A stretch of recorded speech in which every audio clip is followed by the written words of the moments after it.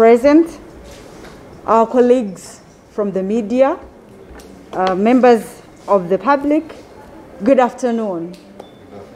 Praise be to God. Assalamu alaikum.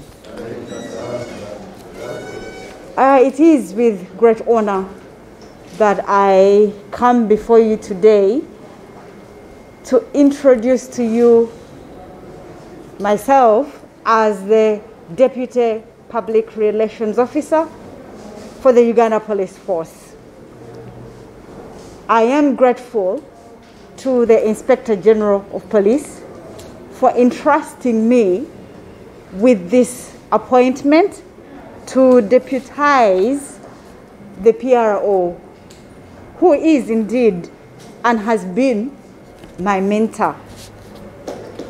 Uh, prior to this appointment, I have been a directing staff with the Police Senior Command and Staff College.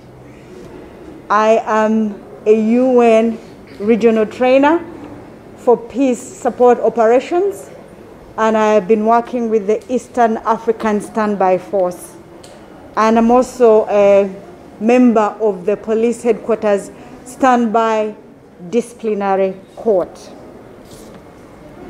So, as we are striving to work towards achieving and maintaining public safety and effective policing, allow me join you into building stronger relationships of mutual trust with the Uganda police and with you, our colleagues, the media, and the general public or the communities that we serve.